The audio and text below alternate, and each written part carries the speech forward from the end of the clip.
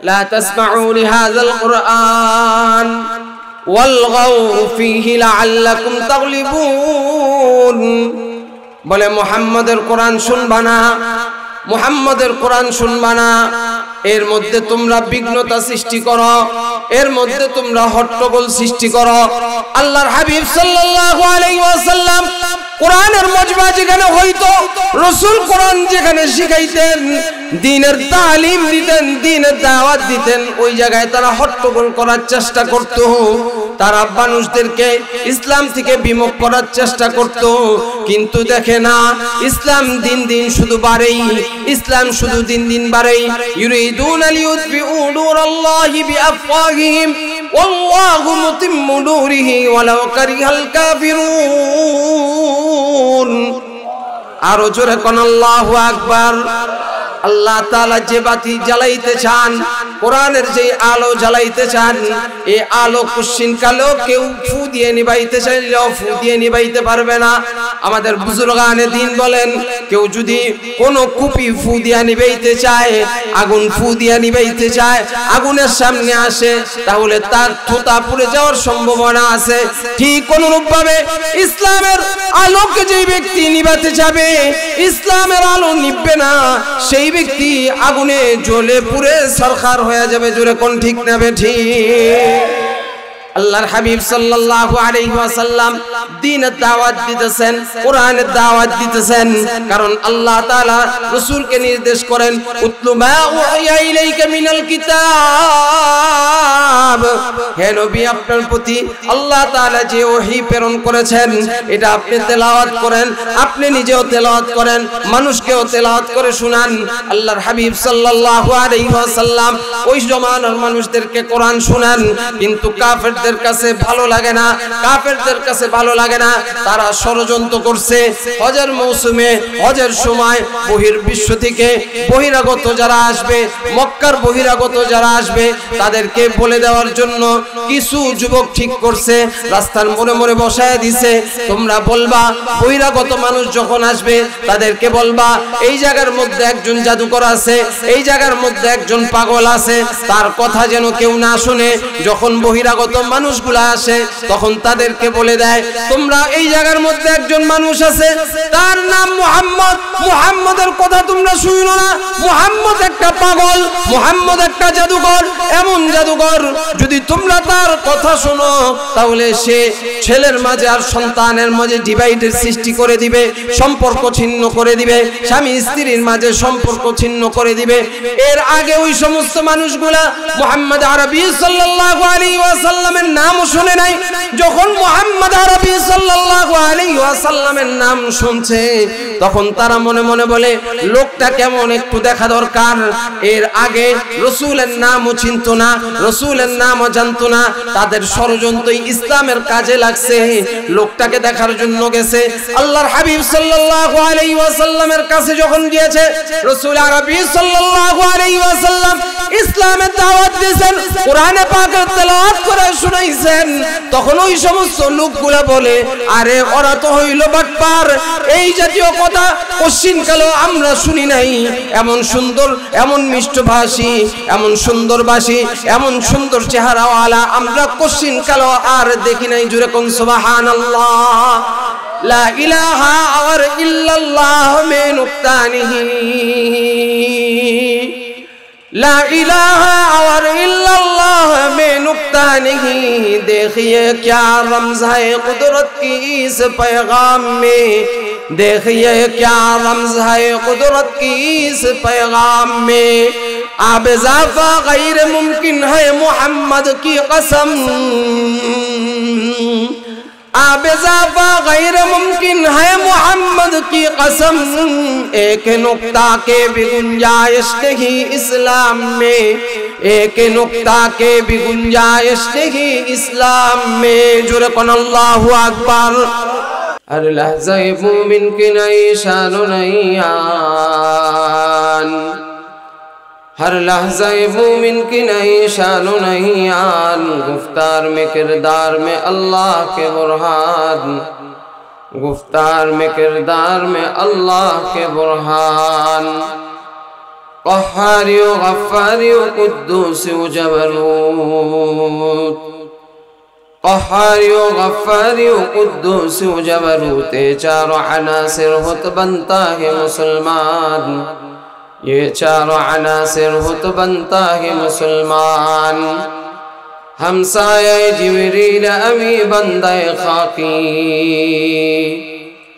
ہمسایہ جبریل امی بندہ خاکی ہے اس کا نشیمن نہ بخارا نہ هاي ہے اس کا نشیمن نہ بخارا نہ بدخشا یہ راز کسی کو نہیں معلوم کہ مومن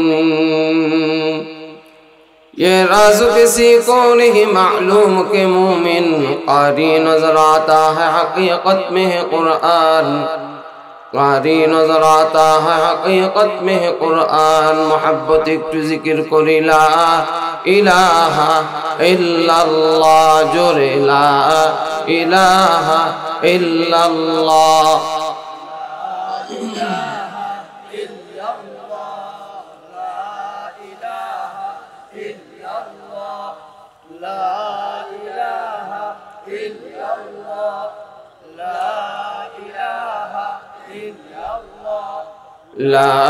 إله إلا الله. لا إله إلا الله. لا إله إلا الله. لا إله إلا الله.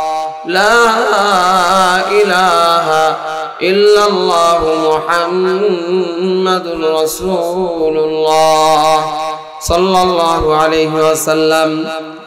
আল ইখওয়ান ইসলামী সমাজ কল্যাণ পরিষদ কর্তৃক আয়োজিত তেরোতম তাফসিরুল কোরআন মাহফিলের অত্যন্ত শ্রদ্ধাভাজন সভাপতি মুআজ্জাজ মুকাররম হযরত উলামায়ে কেরাম, সামনে উপবিষ্ট দিনদার ইমানদার মুসলমান ভাইরা পর্দার অন্তরালের আবেদা জাহেদা মা বোনেরা, মহান আল্লাহ পাকের দরবারে অসংখ্য অগণিত শুকর। যে আল্লাহ তাআলা আমাদেরকে বেহেশতের বাগানে মাহফিলের প্যান্ডেলে আসার, বসার তৌফিক দিয়েছেন। সেজন্য মালিকের দরবারে জবান খুলে, মোহাব্বতের সাথে ভক্তি ভরে আওয়াজকে দরাজ করে, মুসলমানের জবানে যেমন আওয়াজ হওয়া দরকার, তেমন আওয়াজে সর্ব উচ্চ কণ্ঠে আল্লাহ পাকে শুকর আদায় করি, আলহামদুলিল্লাহ। আমি আলোচনা শুরু করার আগে দু একটা কথা বলতে চাই।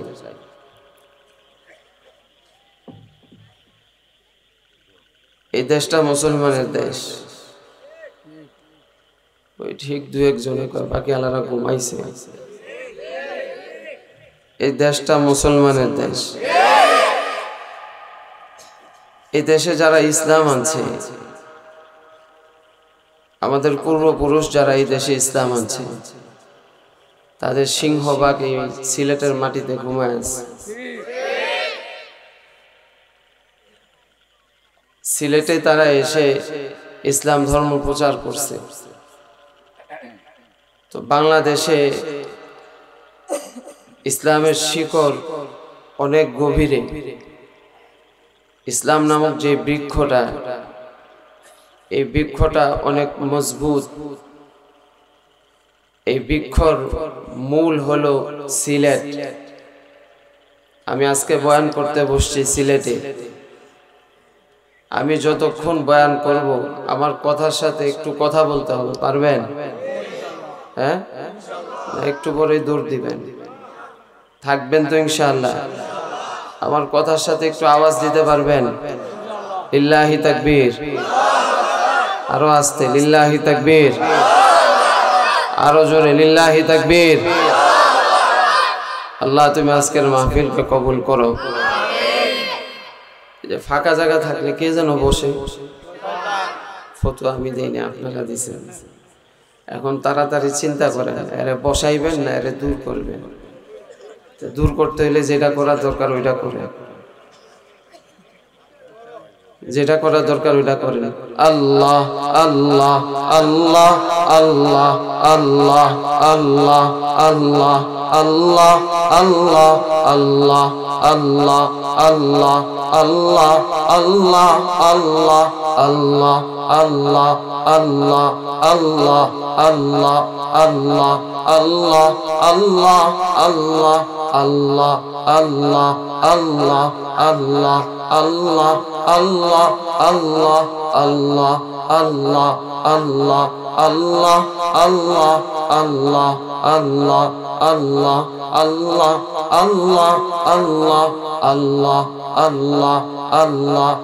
আল্লাহ আল্লাহ আল্লাহ আল্লাহ আল্লাহ আল্লাহ আল্লাহ আল্লাহ আল্লাহ আল্লাহ আল্লাহ আল্লাহ লা ইলাহা ইল্লাল্লাহ মুহাম্মাদুর রাসূলুল্লাহ সাল্লাল্লাহু আলাইহি এই দেশটা মুসলমানের দেশ কোনো সন্দেহ আছে এই দেশটা মুসলমানের দেশ কেউ কেউ বলে, এই দেশে মুসলমান নাইনটি ফাইভ পার্সেন্ট মুসলমান। কেউ বলে নাইনটি এইট পার্সেন্ট মুসলমান। নাইনটি এইট পার্সেন্ট মুসলমান বা নাইনটি ফাইভ পার্সেন্ট মুসলমানই ধরেন। এই দেশে আজ থেকে দশ বছর আগেও এমন ইসলাম বিদ্বেষী কর্মকাণ্ড দেখি নাই। আজ থেকে দশ বছর, পনেরো বছর আগেও এমন ইসলাম বিদ্বেষী কর্মকাণ্ড দেখি নাই। বর্তমানে যা দেখতেছি, তার একমাত্র কারণ মুসলমানের আওয়াজ খাটো হয়ে গেছে, মুসলমানের ইমান দুর্বল হয়ে গেছে, মুসলমানের আওয়াজ দুর্বল হওয়ার কারণে, মুসলমানের ইমান দুর্বল হওয়ার কারণে আজকে বিনদেশিরা এই দেশে এসে তারা এই দেশের মধ্যে ঘাটি করে মুসলমানদের ইমান ধ্বংস করার জন্য, আমার আপনার সন্তানের ইমানকে ধ্বংস করার জন্য, আমার আপনার মুসলমানের সন্তানকে তাদের চরিত্রগুলা ধ্বংস করার জন্য ভবিষ্যৎ প্রজন্মকে তারা ধ্বংস করার জন্য, বিশেষ বিদেশিদের এজেন্ডা বাস্তবায়ন করার জন্য তারা মাঝে মাঝে এই দেশে কিছু তারা কিছু কুসংস্কৃতি এই দেশের মধ্যে চালু করতে চায়। যেমন বর্তমানে শিক্ষানীতি নিয়ে একটা গভীর ষড়যন্ত্র চলতেছে। শিক্ষানীতির মধ্যে, ক্লাস সেভেনের বইয়ের মধ্যে শরীফ শরীফা নামক একটা গল্প আনছে। যে গল্পের মাধ্যমে ট্রান্সজেন্ডার ট্রান্সজেন্ডার অর্থাৎ লিঙ্গ পরিবর্তন করা। ছেলে যদি চায় মেয়ে হয়ে যাইতে, মেয়ে যদি চায় ছেলে হয়ে যাইতে, তাহলে সেটা পারবে। এটা আমাদের সন্তানদের গল্পের মাধ্যমে শিখাতে যাচ্ছে। এটা গভীর ষড়যন্ত্র। অর্থাৎ এই সন্তানগুলোকে ভবিষ্যতে সমকামিতায় লিপ্ত করার জন্য, তারা মুসলমানের সন্তানের আখলাক নষ্ট করার জন্য, মুসলমানের সন্তানের চরিত্র ধ্বংস করার জন্য বিদেশিদের এজেন্টটা বাংলাদেশে বাস্তবায়ন করার জন্য তারা চেষ্টা করতেছে। আমরাও সুস্পষ্ট ভাষায় বলতে চাই, এই দেশে ইসলাম নিয়ে ষড়যন্ত্র করে কেউ থাকতে পারে নাই, তাসলিমা থাকতে পারে নাই, দাউদ হায়দার থাকতে পারে নাই, কবির জাফর ইকবাল থাকতে পারে নাই, এই দেশে লতিফ সিদ্দিকীর মতো প্রভাবশালী এমপি এই দেশের মধ্যে ইসলাম নিয়ে কথা বলে থাকতে পারে নাই, সুস্পষ্ট ভাষায় বলতে চাই, এই দেশ শাহজালালের দেশ, এই দেশ শাহপরনের দেশ, তিনশো ষাট আউলিয়ার দেশ, এই দেশে ইসলামের বিরুদ্ধে ষড়যন্ত্র করে কেউ থাকতে পারে নাই। ইসলামের বিপক্ষে আইন পাশ করে কেউ থাকতে পারবে না পারবে না পারবে না।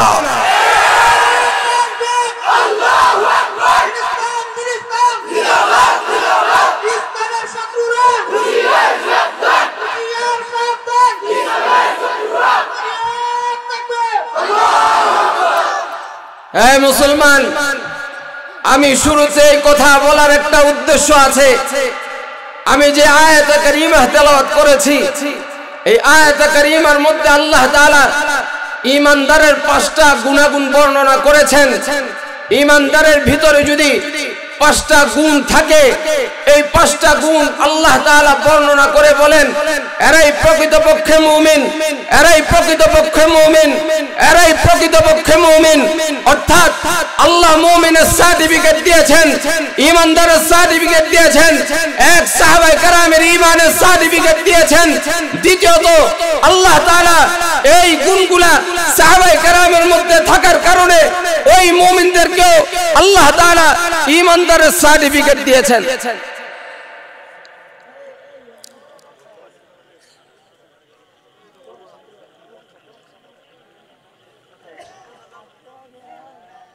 জিকির করেন লা ইলাহা ইল্লাল্লাহ।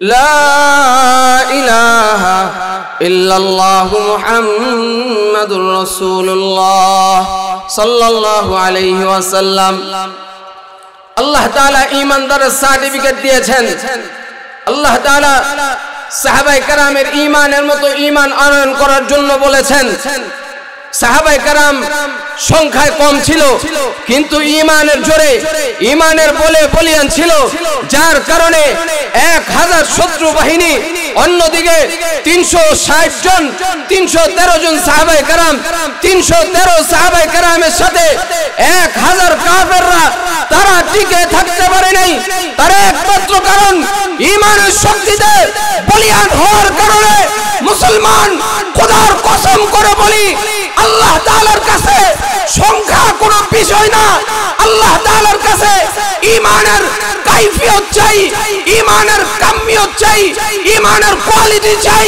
বাংলাদেশের মুসলমানেরও যদি ইমানের কোয়ালিটি থাকে বাংলাদেশে কোন কুলাঙ্গার, কোন নাস্তিক, কোন মুরতাদ ইসলামের বিপক্ষে কথা বলে সোজা থাকতে পারবে না। রসুলের বিপক্ষে কথা বলে, আল্লাহর বিরুদ্ধে কথা বলে, মসজিদ, মাদ্রাসার বিরুদ্ধে কথা বলে কেউ বাংলাদেশে সোজা থাকতে পারবে না। কিন্তু আফসোসের বিষয়, দিন যায় আর যেন আমাদের ইমানি শক্তি কমতে আসছে দিন যাচ্ছে আর যেন আমাদের ইমানের কোয়ালিটি আস্তে আস্তে হারিয়ে ফেলছি আমরা। জোরে কর। আমাদের ইমানের কোয়ালিটি যেন আস্তে আস্তে জিরো কোঠায় চলে আসছে। ইমানদারের যদি এই পাঁচটা গুণ থাকে, আমি যে আয়াতা কারিমা তেলাওয়াত করেছি, এই পাঁচটা গুণ যদি থাকে, আল্লাহ তাআলা বলেন, এরা প্রকৃতপক্ষে ইমানদার এরাই প্রকৃতপক্ষে মুমিন। জোরে কোন সুবহানাল্লাহ। পাঁচটা গুণ কি একটা একটা করে আমি আলোচনা করি আল্লাহ তাআলা বলেন إنما المؤمنون الذين إذا ذكر الله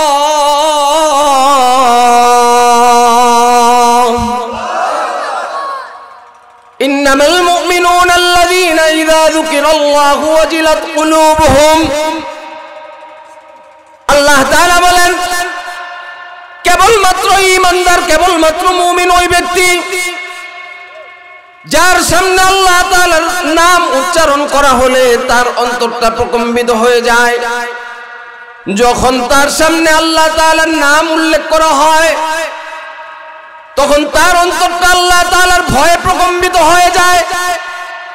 অর্থাৎ ইমানদারের অন্তরে আল্লাহ তাআলার ভয় থাকা ইমানদারের ভিতরে যদি আল্লাহর ভয় থাকে, ইমানদার কোনোদিন গুনাহ করতে পারে না। ইমানদারের ভিতরে যদি আল্লাহর ভয় থাকে, ইমানদার দুই নাম্বারই করতে পারবে না। ইমানদারের ভিতরে, মুমিনের ভিতরে যদি আল্লাহ তাআলার ভয় থাকে, সে অন্যের সাথে জুলুম করতে পারবে না। ইমানদারের ভিতরে যদি আল্লাহ তাআলার ভয় থাকে, অন্যের মাল লুণ্ঠন করে খেতে পারবে না। ইমানদারের ভিতরে যদি আল্লাহ তাআলার ভয় থাকে ওই ইমানদার কোশ্চিন কালে আল্লাহ তাআলার নাফরমানি করতে পারবে না এই জন্য অন্য আয়াতে আল্লাহ তাআলা বলেন ইয়া আইয়ুহাল্লাযীনা আমানুত্তাকুল্লাহা হাক্কা তুকাতিহ ولا تموتن إلا وأنتم مسلمون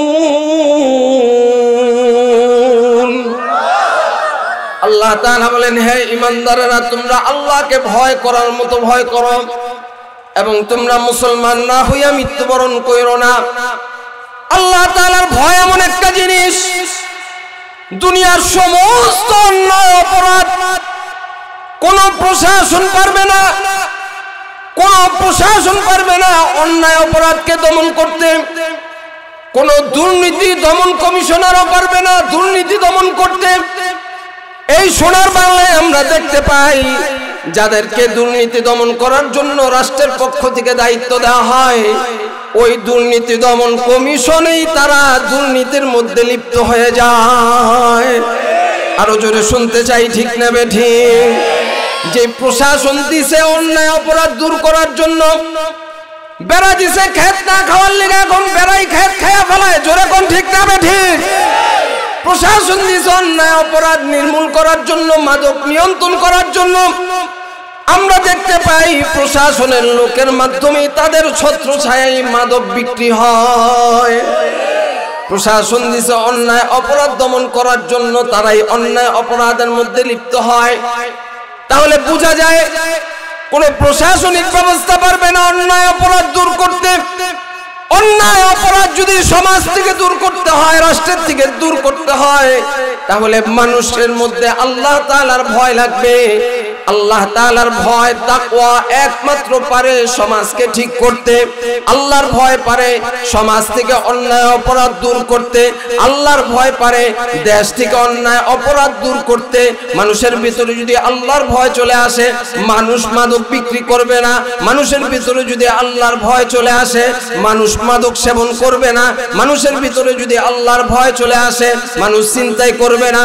মানুষের ভিতরে যদি আল্লাহর ভয় চলে আসে, তাহলে বাংলাদেশের এমপি, মন্ত্রী, চেয়ারম্যানগুলা তারা জনগণের মাল লুণ্ঠন করে খাবে না। আল্লাহ তাআলার ভয় নাই দেখেই রাস্তা দেয় নির্মাণ করার জন্য, রাস্তার মধ্যে রডের পরিবর্তে দেয় বাস আরও জোরে। রডের পরিবর্তে দেয় বাস আল্লাহর ভয় নাই এই জন্য জনগণের টাকা মাইরা খাইতে পারে, আল্লাহর ভয় নাই এই জন্য রাষ্ট্রের টাকা মাইরা খাইতে পারে, আল্লাহর ভয় নাই দীঘা এই জন্য দুর্নীতি করতে পারে, আল্লাহর ভয় নাই দীঘা এই জন্য যা খুশি তাই করতে পারে, আল্লাহ তাআলার ভয় যদি ইমানদারের ভিতরে থাকে, তাহলে ইমানদার পশ্চিম কালেও দুই নাম্বারই করতে পারে না, জোরে কোন ঠিক?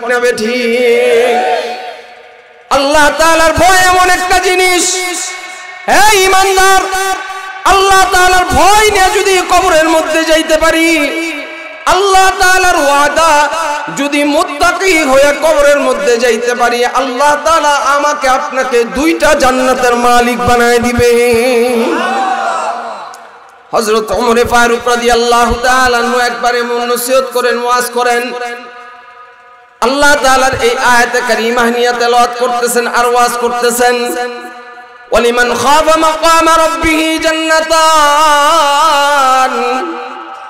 ওমর ফারুক রাদিয়াল্লাহু তাআলা আনহু এই আয়াতে কারিমা তেলাওয়াত করে তাকওয়া সম্পর্কে, আল্লাহ তাআলার ভয় সম্পর্কে ওয়াজ করতেছেন। কিছু যুবক ওমরের ওয়াজ শুনে, একজন যুবক ওমরের ওয়াজ শোনার পর বাড়ি যায়। বাড়ি যাওয়ার পথে এক মেয়ে তাকে ধরে এক কামরার মধ্যে নিয়ে গেছে। খারাপ কাজ করবে, জিনা করবে। যুবকটাও শয়তানের ধোকায় পড়ে গুনাহ করার জন্য উদ্বুদ্ধ হয়েছে। ওই মেয়েটা দরজা লাগায় দিছে, জানালা লাগায় দিছে। কেউ নাই কেউ নাই দেখার মতন, কেউ নাই। আমি আপনাদেরকে জিজ্ঞেস করতে চাই, কেউ না দেখল একজন দেখেন তিনি কে? জবান খুলে একটা আল্লাহকে ডাক দেন আল্লাহ। জীবনে সর্বোচ্চ আওয়াজ আল্লাহকে ডাক দেন আল্লাহ। আল্লাহ তাআলা দেখেন, কেউ দেখেন না। যুবকটা জামা খুলছে, জিনা করবে। ঠিক এই মুহূর্তে যুবকটার অন্তরের মধ্যে এই কথাটা চলে আসছে। আমাকে কেউ দেখে না, কিন্তু আমার আল্লাহ তো ঠিকই দেখেন। হযরত ওমর না কিছুক্ষণ আগে আল্লাহ তাআলার ভয় সম্পর্কে নসিহত করছেন। আল্লাহ তাআলার ভয় সম্পর্কে আলোচনা করছেন। হায় হায়, আমি শয়তানের ধোকায় পড়ে কীভাবে গুণের মধ্যে লিপ্ত হয়ে গেলাম? দরজা খুলে এক দৌড়ে বাড়ি চলে গেছে। বাড়ি যাওয়ার পরে বাবার সামনে পড়ছে। বাবা জিজ্ঞেস করে, তোমার এই অবস্থা কেন? তোমার শরীরের কাপড় কোথায়? বলে, বাবা, ওমর আমাকে আল্লাহ তাআলার ভয় সম্পর্কে নসিহত করছেন, তাকওয়া সম্পর্কে আলোচনা করেছেন। আমি আসার পথে শয়তানের ধোকায় পড়ে গুনার মধ্যে লিপ্ত হয়ে গেছি। বাবা, আমার ভয়। আল্লাহ তাআলার ভয় আমার অন্তরের মধ্যে চলে আসছে। আমার অন্তরটা আল্লাহ তাআলার ভয়ে ছটফট করতেছে। এক পর্যায়ে ওই ব্যক্তিটা, ওই সন্তানটা আল্লাহ তাআলার ভয়ে ছটফট করতে করতে কলিজা ফেটে মারা গেছে। তার বাবা তার কাফন দাফন করছে সুন্দর করে। সকালবেলা অমরের পিছে নামাজ আদায় করার জন্য গিয়েছে। অমর জিজ্ঞেস করে, তুমি আসছো তোমার সন্তান কোথায়? বলে, আমার সন্তান এইভাবে এইভাবে এতেকাল করছে। আমার সন্তান কলিজা ফেটে মারা গেছে। আল্লাহ তাআলার ভয়ে কলিজা ফেটে মারা গেছে। অমর বলেন, তোমার সন্তানের কবর কোথায়? বলে, আমার সন্তানের কবর অমুক জায়গায়। চলো তোমার সন্তানের কবরের পাশে যাই। আরে খলিফাতুল মুসলিমিন, আমিরুল মুমিনিন। ওমর ফারুক তাআলা কোন সাধারণ মানুষ না। ওমরকে যার ব্যাপারে আল্লাহ রাসূল সাল্লাল্লাহু আলাইহি ওয়াসাল্লাম বলেন, লাউ কানা বাদি নবিয়ান লাকানা উমর। আমার পরে যদি কেউ নবী হতো, সে হতো ওমর অমর ফারুক রাদিয়াল্লাহু তাআলা আনহুকে আল্লাহ তাআলা যেমন দৃষ্টি শক্তি দিয়েছেন চর্ম দৃষ্টি দিয়েছেন, এমন আল্লাহ তারা অন্তর্দৃষ্টিও দিয়েছেন। অমর ফারুক রাজি আল্লাহ কবরের সামনে দাঁড়িয়ে কিছুক্ষণ মোরাকাবা করার পর ওমর বলেন, হায় হায়, তুমি কত নেককার সন্তানের বাবা। তোমার সন্তান কলিজা ফেটে মারা যায় নাই। তোমার সন্তান আল্লাহ তাআলার ভয়ে ইন্তেকাল করেছেন। আল্লাহ তাআলার ভয় নিয়ে কবরে যাওয়ার কারণে আল্লাহ তাআলা তোমার সন্তানকে দুইটা জান্নাতের মালিক বানায় দিছে। ওয়ালিমান খাফা মাকাম রাব্বিহি জান্নাতান। যে ব্যক্তি আল্লাহকে ভয় করবে আল্লাহ তাআলা তাকে দুইটা জান্নাতের মালিক বানায় দিবেন وأما من خاف مقام ربه ونهى النفس عن الهوى فإن الجنة هي المأوى এই জন্য বন্ধুরা আমার আল্লাহ তাআলার ভয় মুমিনের অন্তরের মধ্যে আল্লাহ তাআলার ভয় থাকা সব সময় আল্লাহ তাআলার ভয় অন্তরের মধ্যে লালন করা। আল্লাহ তাআলার ভয় যদি লালন করি, তাহলে কোনোদিন আমার দ্বারা গুনাহ করা সম্ভব না, অন্যায় করা সম্ভব না, অপরাধ করা সম্ভব না। আল্লাহ তাআলার ভয় অন্তরের মধ্যে লালন করা। আরে মুমিন যদি মৌতের আগে আল্লাহ তাআলার ভয় নিয়ে কবরের মধ্যে যাইতে পারে, আল্লাহ তাআলা তাকে জান্নাতের মালিক বানায় দিবে জোরে কোন সুবহানাল্লাহ। কিফিল নামে একজন বড় জালেম।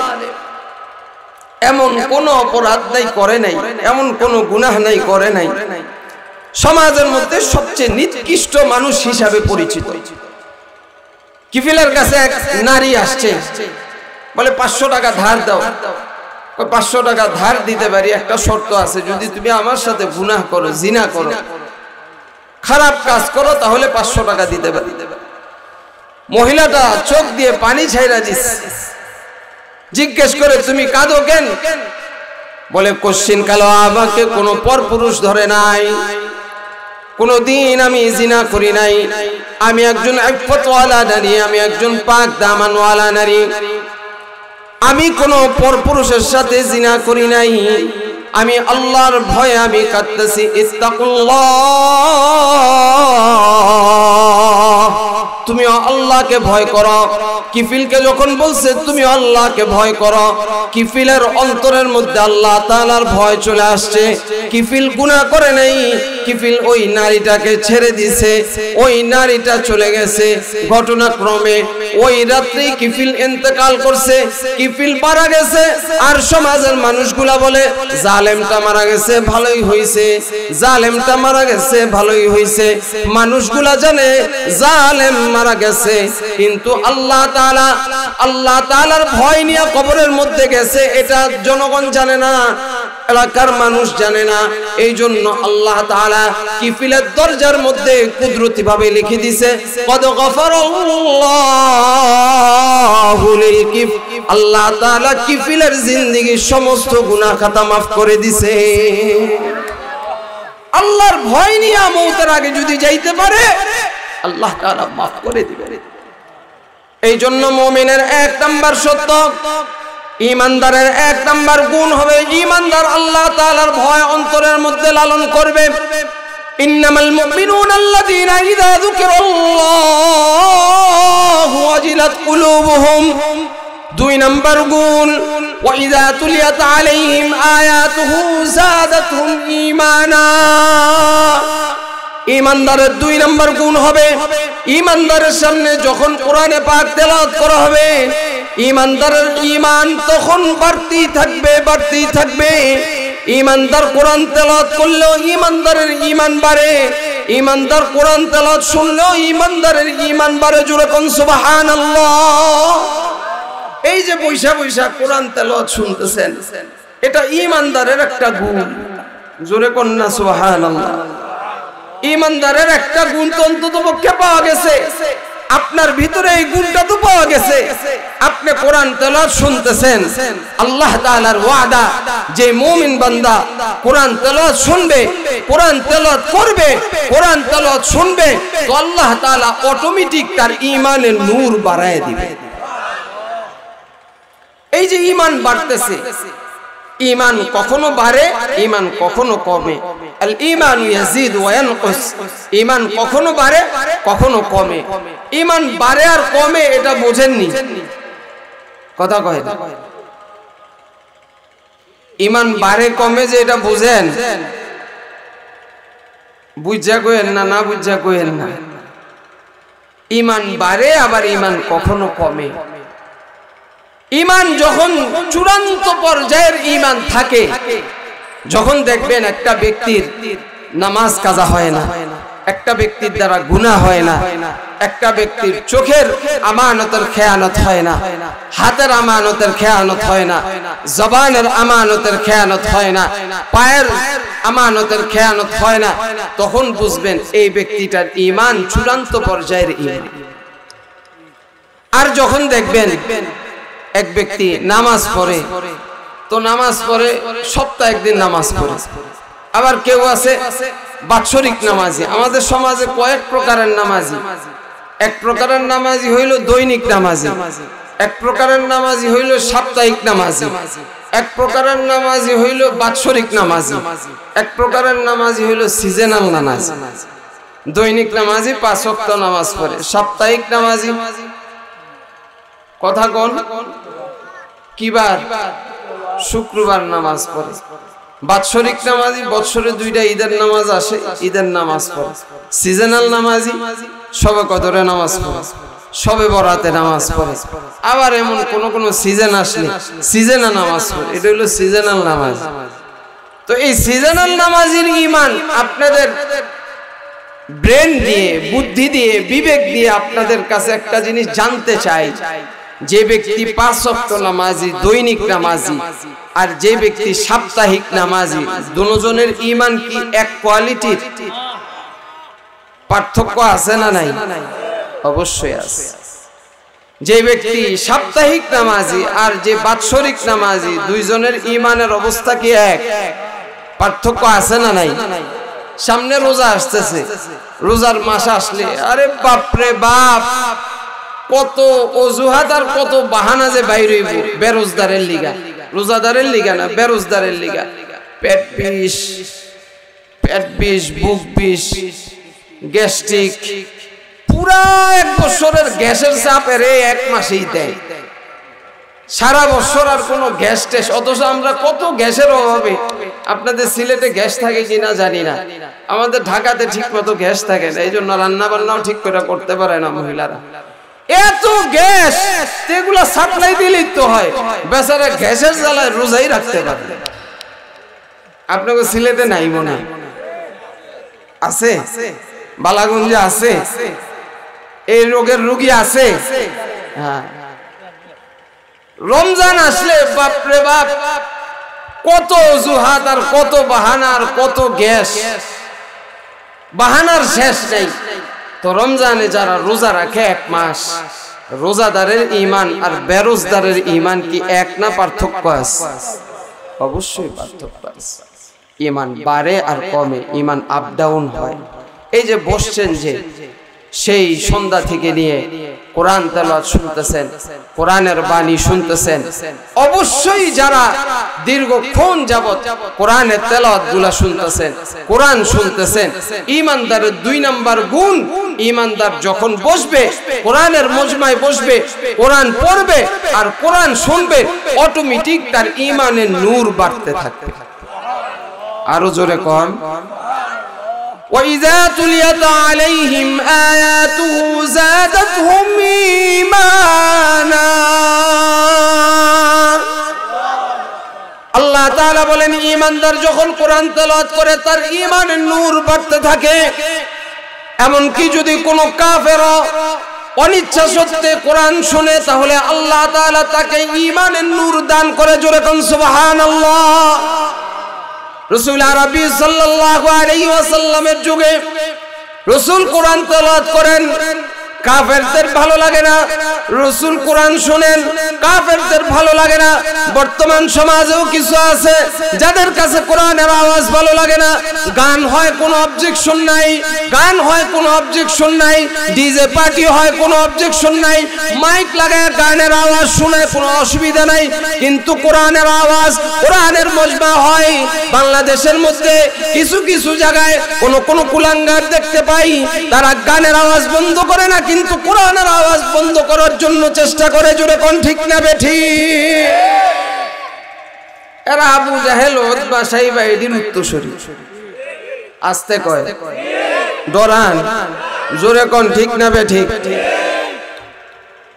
রসুল যখন কোরআনের আওয়াজ, কোরআনের তেলাওয়াত শোনায়, তখন এমন সুলকানির ব্যারাম শুধু আজকা না, এই সুলকানির ব্যারাম সাড়ে চোদ্দ শত বছর আগেও ছিল।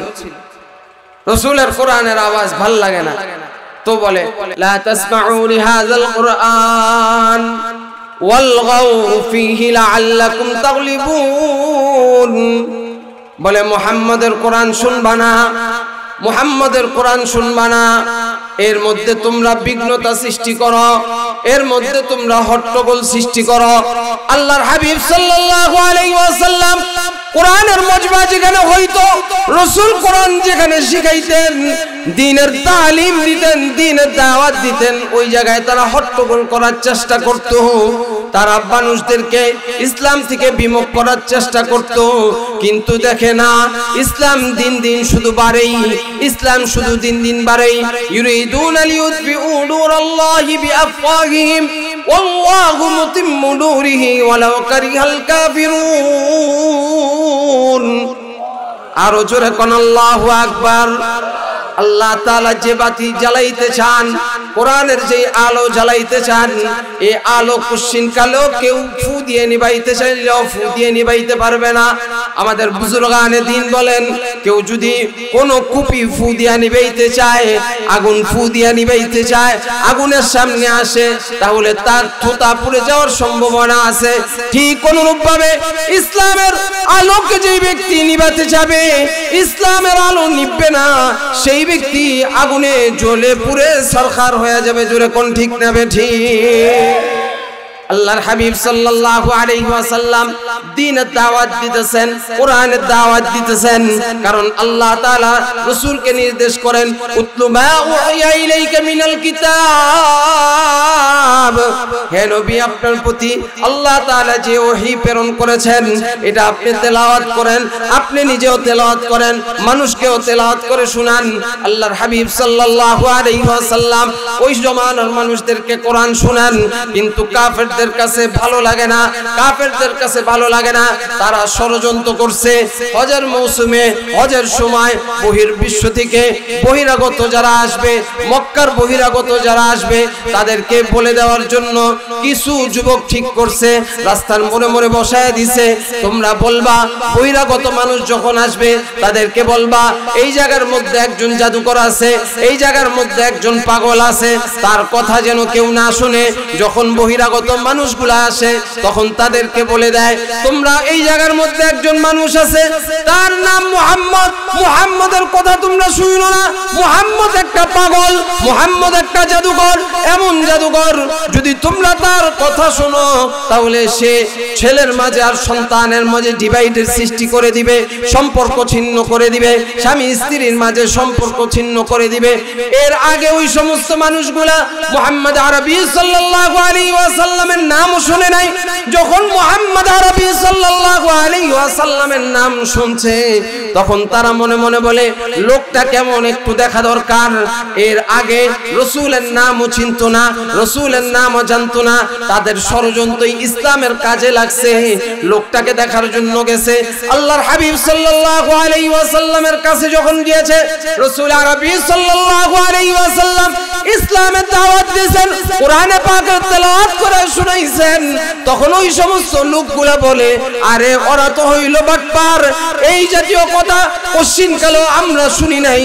এমন সুন্দর, এমন মিষ্টভাষী, এমন সুন্দর বাসী এমন সুন্দর চেহারাওয়ালা আমরা পশ্চিম কালো আর দেখি নাই। জুড়ে কোন সুবহানাল্লাহ। লা ইলাহা আর ইল্লাল্লাহ মে নুকতানিহি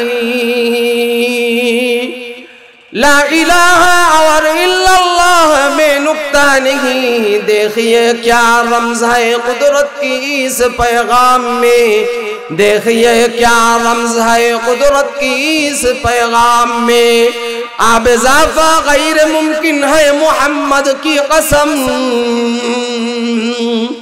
آب اضافہ غیر ممکن ہے محمد کی قسم۔ ایک نقطہ کے بھی گنجائش نہیں اسلام میں۔ ایک نقطہ کے بھی گنجائش نہیں اسلام میں۔ جرقن اللہ اکبر۔ মোহাম্মদ আরবি সাল্লাল্লাহু আলাইহি ওয়াসাল্লামের কোরআনের আওয়াজ বন্ধ করার জন্য আবু জাহেল, উতবা, শাইবা তারা উঠে পড়ে লাগছে। তৎকালীন যুগের একজন বড় আরবি কবি ছিল, আরবি সাহিত্যিক ছিল, লবিদ ইবনে আমের। লবিদ ইবনে আমের কে বলে, হে লবিদ, মোহাম্মদ যে কোরআন পড়ে, এই কোরআনের মতো একটা কোরআন বানাইতে হবে। লবিদ ইবনে আমের বলে, মোহাম্মদের কোরআন কেমন আমি জানি না। স্যাম্পল লাগবে স্যাম্পল। মাল বানাইতে হইলে যেমন স্যাম্পল লাগে, এমন স্যাম্পল লাগবে। লাবিদ ইবনে আমির বলে স্যাম্পল লাগবে। বলে স্যাম্পল আমাদের কাছে নাই। স্যাম্পল মুহাম্মদের কাছে। চলো, মুহাম্মদের কাছে। মুহাম্মদ আরবি সাল্লাল্লাহু আলাইহি ওয়াসাল্লামের কাছে নিয়ে গেছে। লাবিদ ইবনে আমির বলে, হে মুহাম্মদ, আপনার কোরআনটা কেমন? আপনার কোরআনের মতো আমি কোরআন বানাইতে চাই। আবু জাহেল বলে, এই যে লাবিদ ইবনে আমিরকে নিয়ে আসছি। লাবিদ তোমার কোরআনের মতো একটা কোরআন বানায় দিবে। তুমি কোরআনের একটা স্যাম্পল তাকে শুনে দাও।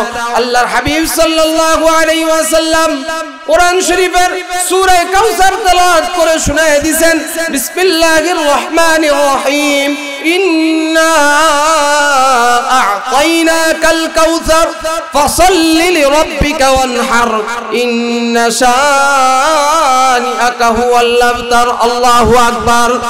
আল্লাহর হাবিব সাল্লাল্লাহু আলাইহি ওয়াসাল্লাম যখন সূরা কাউসার শুনায় দিল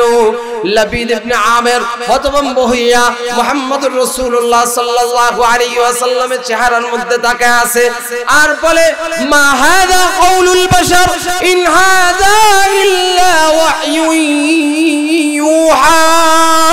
এটা মুহাম্মদের নিজস্ব কালিমা হইতে পারে না। মুহাম্মদ যে বলে, আল্লাহ তাআলার বাণী, এটা কোনো মানুষের কথা না, এটা ওই সত্তার কথা, ওই সত্তার কথা, ওই সত্তার বাণী, যেই সত্তা মুহাম্মাদের উপর ওহি পাঠান। আমি মুহাম্মাদের হাতে হাত দিয়া আমি কালিমা পইরা মুসলমান হয়ে গেলাম। আবু জাহেল কয়, কামডা করলি কি রে শালার তুই? তুই কামডা করলি কি? তোরে আনলাম আমরা কোরআন বানানোর লিগে। এটা একটা কাম করলি তুই? তুই উল্টা মোহাম্মদের হাতে হাত দিয়া মুসলমান হয়ে গেলি। তুই কামডা করলি কি? আমার ইজ্জত মানিজ্য সব তো প্লাস্টিক করে দিলি। লবিদ ইবনে আমের বলে, আহ, তুমি যে বলছো মোহাম্মদ, যে কোরআন পয়রা শোনায়, এটা মোহাম্মদের নিজস্ব কথা। খোদার কসম করে বলি, এটা মোহাম্মদের নিজস্ব কথা না। মা হাজা কৌনুল বেশার, এটা কোনো মানুষের কথা হইতে পারে না। এটা ওই সত্তার কথা, যেই সত্তা দিনকে রাত, রাতকে দিন করেন, ওই সত্তার কথা। যেই সত্তা সূর্য উঠান, আবার সূর্য ডুবান, যেই সত্তা পুরা পৃথিবীকে চালান, যেই সত্তা পুরা আলমের মালিক, যেই সত্তা কায়নাতের মালিক, ওই সত্তার কালা এটা কোনো মানুষের কালা আল্লাহর হাবিব সাল্লাল্লাহু আলাইহি ওয়াসাল্লাম কোরআন পয়রা শুনাইছেন। তো কোরআন শুনলে যে ঈমান বাড়ে ঈমানের নূর বাড়ে কোন কাফেরও যদি কোরআন মনোযোগ দিয়া শুনে আল্লাহ তাআলা তাকে ইমানের মতো নূর দান করেন। কাফের শুনলো আল্লাহ তাকে ইমান ইমান নামক ইমান নামক ইমান নামক সম্পদ তাকে দান আর মুসলমান শুনলে তো কোনো কথাই নেই। কোরআন পড়লেও লাভ, কোরআন শুনলেও লাভ, কোরআন ধরলেও লাভ, কোরআন দেখলেও লাভ, কোরআন বুঝলেও লাভ, না বুঝলেও লাভ। কোরআন পড়তে পারেন না, তো কোরআনটাকে ধৈরা বুকের মধ্যে লাগাই দেখবেন অন্তরটার মধ্যে পেরেশানি ভরা ভালো লাগে না। তো বুকের মধ্যে জড়ায় ধৈরা রাখেন দেখেন কি ভালো লাগে, কি ভালো লাগে। কোরআন পড়তে পারেন না, তো কোরআনটাকে হাত দিয়া ধইরেন ধইরেন ধইরেন, আঙ্গুল দিয়া ধইরেন, আঙ্গুল দিয়া নাইরেন। এর দ্বারাও ফায়দা হবে, এইটার দ্বারাও এটার ছিল আল্লাহ মাফ করে দিতে পারেন ভারতের এক মশুর ঘটনা, এক প্রসিদ্ধ ঘটনা। এক লোক মারা গেছে এক এলাকায়। তো জানাজা দেওয়ার মতো কোনো লোক নেই। লোকজন ওই জানাজার খাট নিয়া সড়কের মধ্যে দাঁড়াইছে। আপনাদের দেশে কি সড়ক বলে না? সড়কের মধ্যে দাঁড়াইছে, রাস্তায় দাঁড়াইছে। দেখে দূর থেকে একজন ব্যক্তি সাইকেল চালায় চালায় আসতেছে। লোকটাকে থামাইছে, বলে, ভাই, আমরা খুব বিপদে পড়ছি। কয়, কি বিপদ? বলে, এই জানাজা নিয়ে আমরা বিপদে পড়ছি। বলে, আমরা জানাজা পড়াইতে পারি না, জানাজার পড়ানোর মতো কোনো লোক নাই। মেহরবানি করে একটু জানাজাটা পড়ায় দেন। বলে, ঠিক আছে, অজুর পানি আনো। অজুর পানি আনছে, সুন্দর করে অজু করে আল্লাহর বান্দা জানাজা পড়ায় দিছে। বলে আর একটু উপকার করেন। বলে, কি? বলে, সুন্নত তরিকায় দাফন করে দেন, আমরা দাফন করতে পারি না। আল্লাহর বান্দা সুন্নত তরিকায় কবরের মধ্যে নেমে সুন্দর করে, ভালো করে দাফন করে দিছে। আল্লাহর বান্দা কোর্টে চাকরি করতো, কোর্টে চলে গেছে। যাওয়ার পরে পকেটের মধ্যে হাত দেয়া দেখে তার কিছু জরুরি কাগজপত্র ছিল। জরুরি কাগজপত্রগুলা নাই। আল্লাহর বান্দা মনে মনে চিন্তা করল, মনে হয় আমি কবরে নামছিলাম, কবরের মধ্যে মনে হয় আমার কাগজপত্রগুলা পড়ে গেছে। আবার দৌড়ে আসছে, এসে বলে, ভাই, আমিও একটা বিপদে পড়ছি। বলে, কি বিপদ? বলে, আবার কিছু জরুরি কাগজপত্র কবরের মধ্যে যখন নামছিলাম, তখন পড়ে গেছে। আমার এই কাগজপত্রগুলো যদি আমি না পাই, আমার খুব সমস্যা হয়ে যাবে। কাগজপত্রগুলো উঠাতে হবে, কবরটা আবার খনন করতে হবে। বলে, হুজুর, কবরটা দ্বিতীয়বার খনন করা যাবে কিনা আমরা জানি না। বলে হ্যাঁ যদি প্রয়োজন হয় আবার দ্বিতীয়বার খনন করতে পারবা। মানুষগুলো এখন কবরটা দ্বিতীয়বার খনন করা শুরু করছে, মাটিগুলা উঠাইছে, বাঁশগুলা বেরিয়ে আসছে। ওই আল্লাহর বান্দা বলে, তোমরা যখন বাঁশগুলা রাখবা, তখন বিসমিল্লাহ বলে বলে একটা একটা করে বাঁশ রাখবা। বিসমিল্লাহ বলে একটা একটা করে বাঁশ রাখবা। লোকজনগুলা ঠিকই বিসমিল্লাহ বলে বলে একটা একটা করে বাঁশ রাখতেছে। মাত্র তিরিশ থেকে চল্লিশ মিনিটের ব্যবধানে বাঁশগুলা উঠায় দেখে গোটা কবরটা ফুলের বাগানে পরিণত হয়ে গেছে। আল্লাহর বান্দা তার জরুরি কাগজপত্র বলে নিয়ে বলে, তোমরা আবার সুন্দর করে দাফন করে দাও। আবার সুন্দর করে দাফন করে দিছে। বলে, এই মাইয়াতের অলি কে? বলে, এই মাইয়াতের তেমন কোন অলি নাই। এই মাইয়াতের একটা কন্যা সন্তান আছে। কই থাকে বলে? অমুক জায়গায় থাকে। চলো, আমরা চলে যাই, ওই জায়গার মধ্যে যাই। তখন পর্দার আড়ালে দাঁড়িয়ে জিজ্ঞেস করো, মা, তোমার বাবা এমন কি আমল করত যে আমলের কারণে তোমার বাবার গোটা কবরটা ফুলের বাগানে পরিণত হয়ে গেছে? ও মা আমরাও কবরে যাচ্ছি, আমরাও যাতে ওই আমলটা করতে পারি। দুনিয়া থাকার জায়গা না, দুনিয়ায় থাকতে পারব না। দুনিয়ায় কেউ থাকতে পারে নাই। دنیا ছেড়ে চলে যেতে ہوئے আমরাও যাতে ওই আমলটা করে যেতে পারি। کیسے কেসে তাজদারু پادشاہ چل بسے کیسے کیسے تاجداروں پادشاہ چل بسے وہ خزینہ بالا خانہ شان شوکت کیا ہوئی وہ خزینہ بالا خانہ شان شوکت کیا ہوئی؟ موت جس دن آ گئی، مردہ کی حالت کیا ہوئی؟ موت جس دن آ گئی، مردہ کی حالت کیا ہوئی؟ روح تن سے اڑ گئی، مردہ کی حالت کیا ہوئی؟ روح تن سے اڑ گئی، مردہ کی حالت کیا ہوئی؟ ও মা একটু বলো না, আমরাও যাতে তোমার বাবার ওই আমলটা করে কবরে যাইতে পারি। তখন মেয়েটা বলে, আমার বাবা তেমন কোনো শিক্ষিত ছিল না। আমার বাবা একজন মূর্খ ছিল। আমার বাবা দৈনিক খেতে খামারের থেকে কাজ করে। আমার বাবা যখন বিকাল বেলা আসতো, ভালো করে হাত পা ধুয়ে আমার বাবা ওই যে তাকের মধ্যে একটা কিতাব আছে, ওই কিতাবটা নিয়ে বসতো। ওই কিতাবটা খুলে আমার বাবা আঙ্গুল দিয়ে বলতো यही सच है यही सच है यही सच है यही मेरा मौला का कलाम है আমার বাবা আঙ্গুল দিয়ে তো আর বলতো এটাও সত্য এটাও সত্য এটাও সত্য এটা আমার আল্লাহ পাকের কালাম তখন ওই লোকটা বলে দেখে এটা কি কিতাব লোকটা হাতে নিয়ে দেখে এটা কোনো দুনিয়ার গল্পের কিতাব না এটা কোনো সাধারণ বই না এটা আল্লাহ তাআলার কালাম আল্লাহ তাআলার কালাম আঙ্গুল দিয়ে নেড়ে নেড়ে বলার কারণে লোকটা বলতো, আমার আল্লাহ যা বলছেন সত্যই বলছেন, আমার আল্লাহ যা বলছেন সত্যই বলছেন। শুধু এতটুকু আমলের কারণে আল্লাহ তাআলা তার কবরটাকে জান্নাতের বাগান বানায় দিছে। এই, কোরআন পড়তে পারেন না? তো কোরআনটাকে এইভাবে নিয়ে আঙ্গুল দিয়া নারেন আর বলেন, আমার আল্লাহ যা বলছেন সত্যি কোরআন যদি পড়তে পারেন, দৈনিক পড়েন। ইমানদারের দুই নম্বর গুণ কোরআন তেলাওয়াত করা।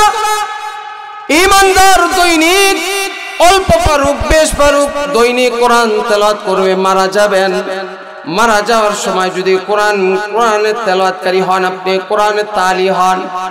তেলাওয়াতকারী হইলে মাথার সামনে দিয়া যখন আজাব আসতে থাকবে, কোরআন তেলাওয়াত দাঁড়ায় যাবে। পায়ের সামনে দিয়ে আজাব আসতে থাকলে কোরআন দাঁড়ায় যাবে। বলবে, আল্লাহ, তুমি তাকে আজাব দিও না। এই যে তোমার তোমার এই বান্দা কোরআন তেলাওয়াত করতো, আমি কোরআনকে তেলাওয়াত করতো।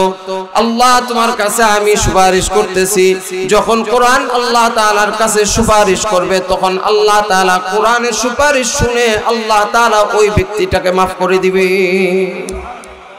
কোরআনের একটা হরফ যদি পড়েন, এক একটা হরফের বিনিময় আল্লাহ তাআলা কম পক্ষে দশটা নেকি দান করবেন, জোরে কোন সুবাহান আল্লাহ রমজান মাসে যদি আপনি কোরআন তেলত করেন, রমজান মাসে কোরআন তেলত করলে কমপক্ষে আল্লাহ তালা কোন কোন মুহাদ্দিম মুফাসিরিন কারাম বলেন, রমজান মাসে যদি আপনি কোরআন তেলত করেন, একটা হরফের বিনিময় আল্লাহ তালা সাত শত নিকিদান করবেন।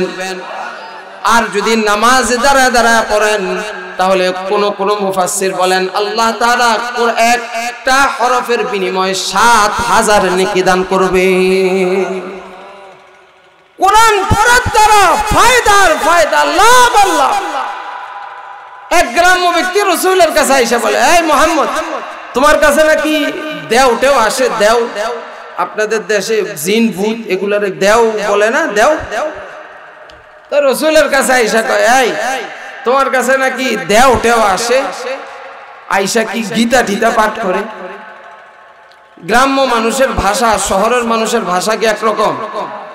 শহরের মানুষ কত সুন্দর কইরা, কত সুন্দর কথা কইয়া এদিক দিয়া কয়, ওদিক দিয়া সাদা হয়ে বাইরে আছে।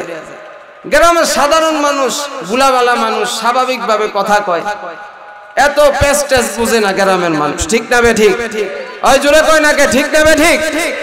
গ্রামের মানুষ এত পেস্টেস এই, মাঝের ফাঁকা জায়গাটা বন্ধ করেন তো। আসেন। ফাঁকা জায়গাটা বন্ধ করেন। আমি আলোচনা করতে করতে আর অল্প কতক্ষণ আলোচনা করেই ছেড়ে দিব। আসেন। বাবা, আসেন, এই, যুবক ভাইরা, আসো আসো আসো। ফাঁকা জায়গাটা বন্ধ করো। ওই বক্তারা সুর দাওরে বাইরে। আমার শ্রোতার দরকার নেই। আমার পাঁচটা শ্রোতা হইলে আলহামদুলিল্লাহ। কারণ শ্রোতা দেখে আমার অভ্যাস আছে। আমার জুমার মুসল্লিতে, আলহামদুলিল্লাহ, আমি যে মসজিদে জুমা পড়াই, আমার জুমার মুসল্লি প্রায় আট থেকে দশ হাজার মুসল্লি আলহামদুলিল্লাহ। তাই আমার শ্রোতা দেখে তো অভ্যাস আছে। আমার এই শ্রোতা দেখে ওয়াজ করতে হয় না। পাঁচজন হইলে পাঁচজনে আলহামদুলিল্লাহ। যদি পাঁচজনই এখলাসের সাথে শোনে তাহলে এটাই যথেষ্ট। এটি, এটা আমার নাজাতের জন্য যথেষ্ট। পাঁচটা মানুষ যদি সব কথা মনে থাকব না একটা কথাও যদি মনে কইরা একটা আমল করে, আমার জিন্দিগি সার্থক, আমার ওয়াজ করা সার্থক, আমার ঢাকা থেকে এখানে আইসা সার্থক। আমার এতটুকুই কামিয়াবি। তো রসুল কাইসা বলে, এই মোহাম্মদ, তোমার কাছে নাকি দেও টেও আসে? গ্রামের ভুলাবালা মানুষ, গ্রাম্য ব্যক্তি। আইসা কি গীতা টিতা পাঠ করে? তো রসুল তো মানুষের মনোভাব বুঝতেন সুহান আল্লাহ বলে। মনোভাব বুঝতেন রসুল বুঝছেন লোকটা কি বুঝাইতে চাইতেছে। রসুল বলে হ্যাঁ আমার কাছে যিনি আসে, তিনি সৈয়দুল মালাইকা। হযরত জিবরাইল আমিন আমার কাছে আসে।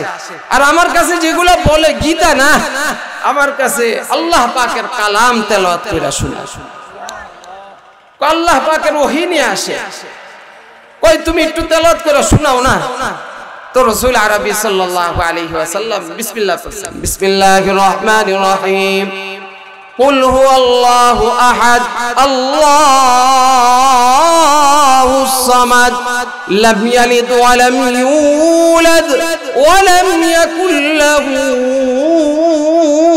كفوا أحد আল্লাহর হাবিব সাল্লাল্লাহু আলাইহি ওয়াসাল্লাম সূরা ইখলাস শুনায় দিয়েছেন তখন লোকটা বলে, এই যে তুমি শুনাইলা এটা শোনার দ্বারা, বলার দ্বারা ফায়দা কি?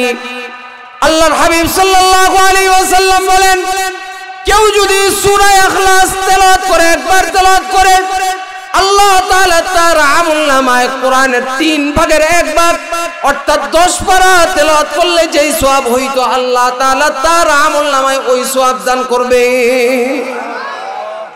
আল্লাহ তাআলা জাতের উপর ইয়াকিন করে বলি, এখানে যারা শুনছেন সূরা ইখলাস, আমি পড়লাম আপনারা শুনছেন?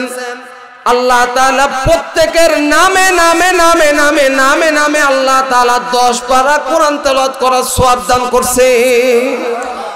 লাভ না লস। আর আস্তে কোন লাভ না লস। কোরআন তেলাওয়াতের দ্বারা লাভ না লস। কোরআন তেলাওয়াতের দ্বারা লাভ আর লাভ। এই ব্যক্তি যখন শুনছে, এত লাভ এত লাভ। তখন এই ব্যক্তি বলে উঠল নি'মাল ইলাহুনা। নি'মাল ইলাহুনা। নি'মাল ইলাহুনা। আমার আল্লাহকে ধন্যবাদ, আমার আল্লাহকে ধন্যবাদ, আমার আল্লাহকে ধন্যবাদ। গ্রাম্য মানুষ গ্রাম্য ভাষায় বলতেছে, আমার আল্লাহকে ধন্যবাদ যে আল্লাহ কোরআন তেলাত করার কারণে এত সোয়াব দান করেন। ওই ব্যক্তিটার এমন আনন্দ দেখা এক সাহাবি তার কাছে উট ছিল, দুইটা উট তার হাতের মধ্যে দিয়া দিছে, উটের রশি খইলা তার হাতের মধ্যে দিয়া দিছে, ওই লোকটা খুশি প্রকাশ করতেছে, আল্লাহ তাআলা জিব্রাইল আমিনকে পাঠাইছেন, হে মোহাম্মদ, আপনার যেই সাহাবি তার খুশি দেখে, তার আনন্দ দেখে উটের রশি খুইলা তার হাতের মধ্যে দিয়া দিল, আল্লাহ তাআলা তাকে জান্নাতে 27 হাজার উটের মালিক বানায় দিছে এই কথা শুই না, এখন একজন একজন করে সাহাবি একটা করে উটের রশিগুলো তার হাতে দেয়, একটা করে উটের রশিগুলো তার হাতে দেয়। এই লোকটা যখন কিতাবে আসছে, এই লোকটা যখন মদিনার বর্ডার পার হয়, তখন এই লোকটার হাতে এক হাজার উটের রশি ছিল। কোরআন পড়ার দ্বারা পড়লেও লাভ, ধরলেও লাভ, বুঝলেও লাভ, না বুঝলেও লাভ। তো ইমানদারের দুই নাম্বার গুণ কোরআন তেলাওয়াত করা। ইমানদার সব সময় নিয়মিত কোরআন তেলাওয়াত করবে। তিন নাম্বার গুণ ইমানদারের। মনে আছে তো? কথা কয় না। কয়টা গুণ? কয়টা? আরও জোরে। কয়টা? জোর হয় না কে? কয়টা? আরও জোরে। কয়টা? হ্যাঁ। তালে তালে ভালো লাগে না? পাঁচটা গুণ ইমানদারের থাকতে হবে দুই নাম্বার গুণ বললাম তিন নাম্বার গুণ وعلى ربهم يتوكلون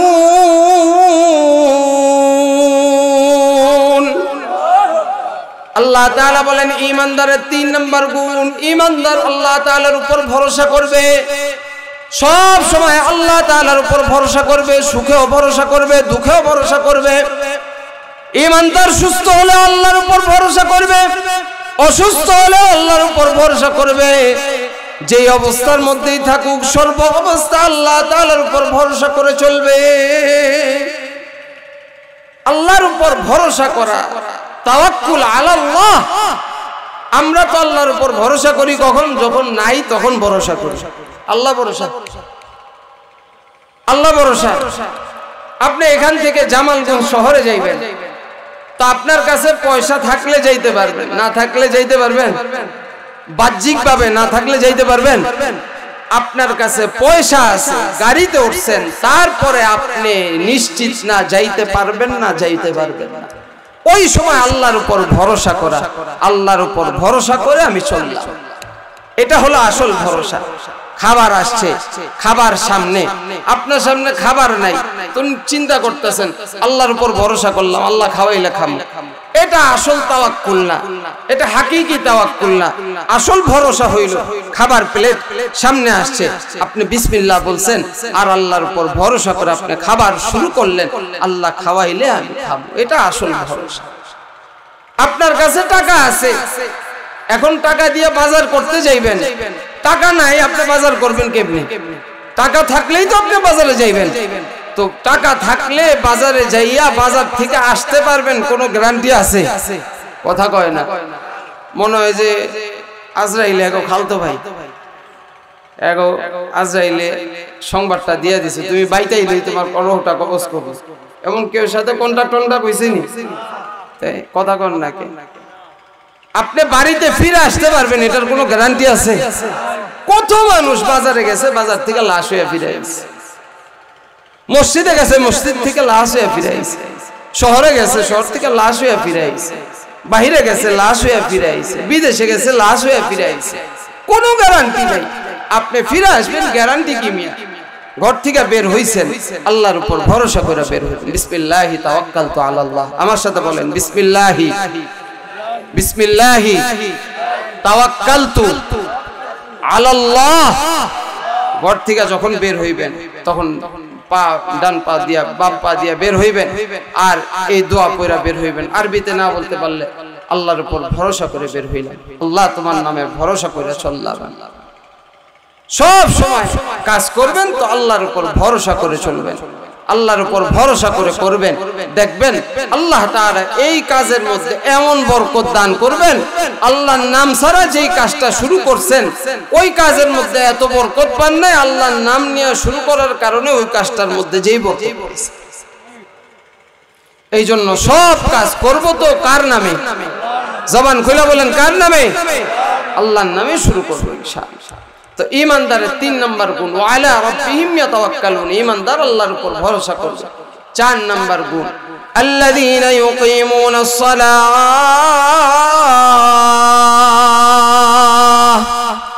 ইমানদার চার নম্বর গুণ। ইমানদার নামাজ কায়েম করবে, নামাজ কায়েম করবে, নামাজ কায়েম করবে।